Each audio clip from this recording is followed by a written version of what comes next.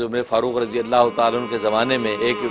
वालदे ने जो शिकायत की अपने औलाद की अपने बेटे की शिकायत की बड़ा नाफरमान हमारी बात नहीं सुनता उन्होंने बुलाया उस बेटे को भी और माँ बाप को भी बुलाया तो बेटे से कहा कि देखो भाई ये शिकायत है तुम्हारी तुम्हारे माँ बाप तुम्हारे बारे में ये ये बात कहते हैं तो क्या तुम अपने माँ बाप की बात सुनते नहीं हो तो बच्चे ने बड़ा अच्छा सवाल किया कहा कि अमीर मोमिन क्या माँ बाप का ही औलाद पे हक है या औलाद का भी कोई माँ बाप पे हक है कहा बिल्कुल बिल्कुल औलाद का भी माँ बाप पे हक